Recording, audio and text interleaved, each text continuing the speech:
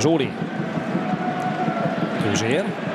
Varga Kevin, Ferencivel a váltás, Ferenci még, ez is jó, Ferenci, ott a helyzet, Szécsi, gól! Vezet a Debrecen, és nem volt lesen Szécsi.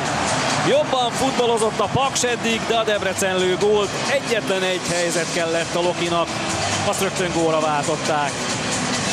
Szécsi Márk góljával vezette át a Debrecen, de hát Ferencit kell nagyon megdicsérni azért a Cselél, hogy ugye megnézzük, hogy talpal tovább sodorta a labdát lendületből. Na itt van még egyszer.